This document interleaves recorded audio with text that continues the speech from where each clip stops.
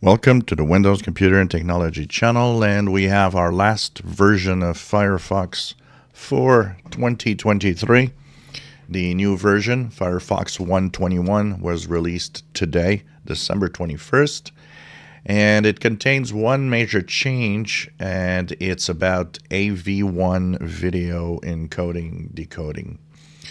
So this browser did not support uh, using hardware or software um, decoding or rendering of AV1.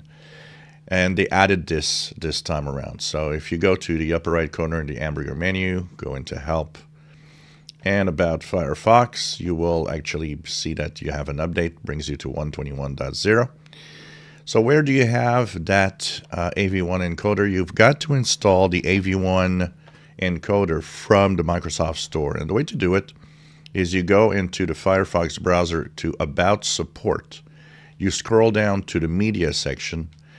Now, you see here I'm supported for hardware decoding because the codec is actually installed on my PC already.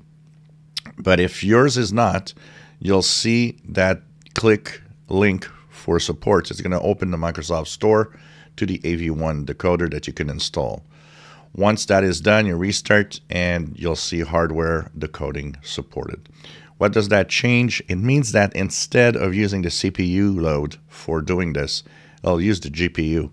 And this is going to, of course, technically make it faster uh, to uh, video support and stuff like that.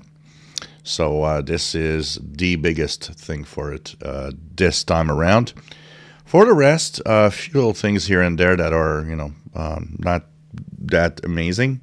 But one of the biggest things, even if you don't care about AV1 support, if you don't, you know, you just want to stay safe, it fixes um, many, many security flaws.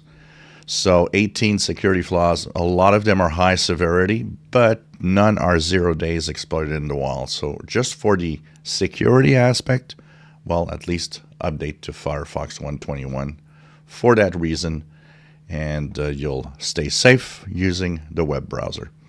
If you enjoy my videos, please subscribe, give us thumbs up. Thank you for watching.